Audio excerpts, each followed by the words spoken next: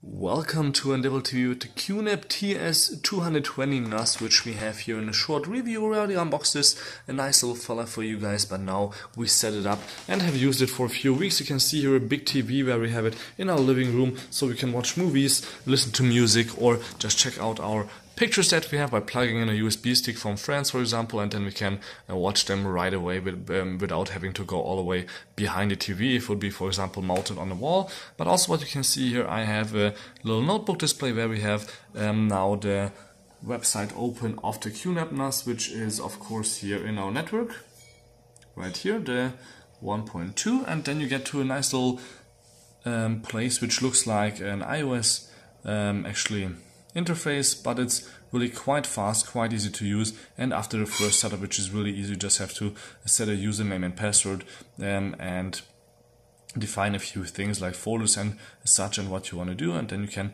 right away start working here. So as you can see we can check for external devices um, we can see what background tasks the device is doing.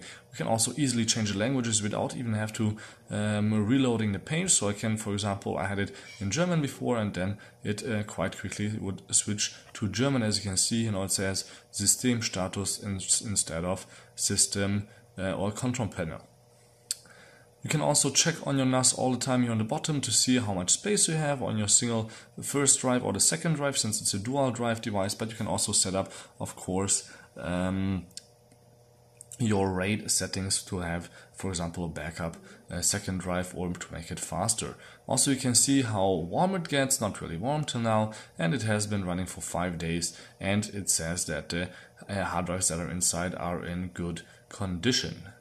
So that about the health and everything, or and you can even see here what it's doing right now up and downstream. So you could see, of course, uh, I was playing a multimedia file here before, that's why it was a little bit peaking. But of course, it all works over Wi-Fi also. So if it's connected to your Wi-Fi router like it is here with us, it's really quite easy to use and also to manage information. Like for example, if you go to photo station here, you can just see your photos. Like for example here, this nice little rosemary, um, rosemary you can do a slideshow right away, select a few pictures, and of course also see here GPS metadata and um, everything uh, information if you just click on a file, or you can just uh, browse through by dates, or when it was, or import of course new information, and that is all possible for all here the all the settings, like for example music. I don't have any music on here right now.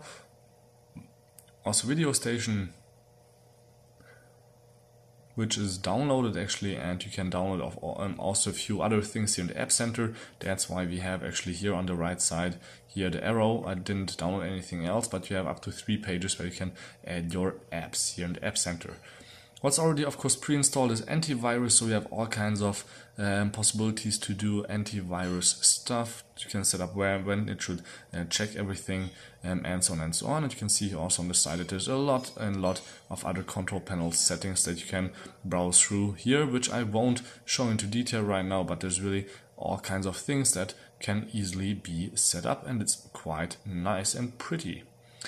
QNAP Sync or QSync is also quite cool if you just want to back up your uh, Windows notebook or desktop PC, Mac or even mobile devices quite simply or you can just sync your data like for example your pictures um, a few times which is of course a lot cheaper if you just buy a device like this for 100 bucks or 200 bucks with hard drives and you can easily just um, back up your pictures instead of paying 5 to 10 bucks a month to Apple or Microsoft or Google or anything like that. And you can also do it on the go since we have also here cloud as you can see QNAP cloud. Um, there's a few settings that you can do here. You can also sync with Amazon um, clouds or anything else that's in here in the list. And you can uh, read in here um, or through this actually on the QNAP site a little bit more. But what I want to show you also is that we have here, for example, um, an iOS device and it's really quite easy to just open up a few QNAP apps, like for example Q Mobile or um, Q File HD, which is of course quite handy, I think, here on the um, iPad Air.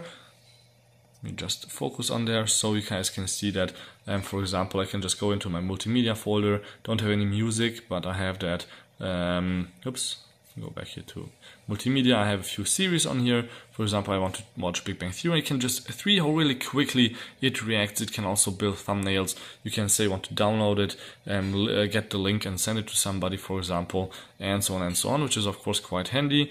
But what's not that good, of course, on iOS is usually playing the device, or actually here you can try it with the iOS native encoder, which as you can see I didn't have to even wait for a second. And it also shows here on top that's getting a little bit darker so I could already also skip here a little bit forward and this works quite nicely. But if I skip a little bit further even that works quite great. So you don't have to wait a minute same thing for music and other stuff and also there's as I said more apps for example here Q Mobile where you can browse through your multimedia and have also right away play pause and it looks a little bit like iTunes and you can also differentiate here on the bottom if you just go to the media center between photos music and videos have all in one list like for example my rosemary picture and just check those all out. Same goes for um, Android and here as you can see for the TV where we have for example now just here the app or don't even have to have an app, it sees it in the network. As a Twonky right now, I can just here start, for example, Arrow, and then watch here the movie quite easily. Also skip forward if I want to. And it all looks great. So this was the QNAP TS220 NAS in a short review. I hope you liked it. Sorry for the shakiness. I'm recording this with a smartphone right now. Till next time, please tune in again. My name is Balazs and thank you much for watching.